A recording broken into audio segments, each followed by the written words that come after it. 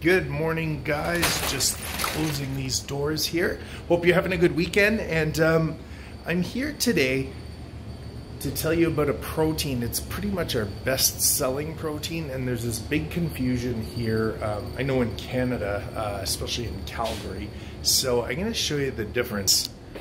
Diesel. This is our top selling protein. So what's happening is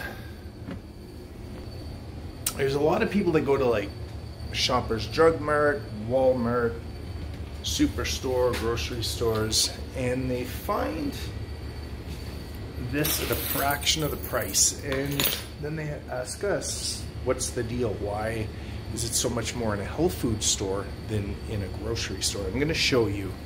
So this is what you get in a health food store.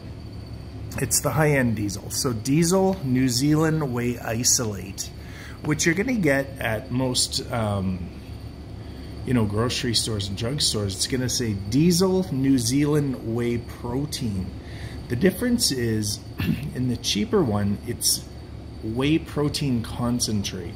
So with that, what that means is it still has the lactose, it has the cholesterol, it's a lower amount of protein. The branch chain amino acids are much lower.